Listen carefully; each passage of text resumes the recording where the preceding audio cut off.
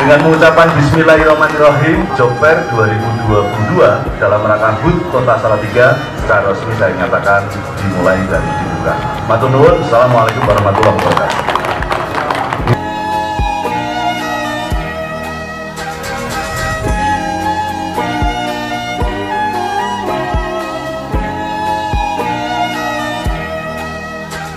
Nah, ini uh, bagian dari rangkaian HUT Kota Salatiga yang kita memanfaatkan uh, ruang dan peluang untuk memberikan kesempatan kepada dunia usaha dan juga pada pencari kerja terhadap posisi-posisi yang uh, ditawarkan.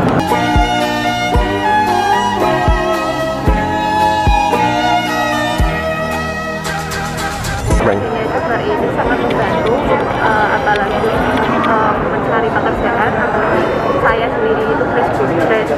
jadi sangat membutuhkan uh, adanya job fair ini dan sangat membantu ayo datang ke job fair Salatiga untuk uh, memeriahkan uh, Salatiga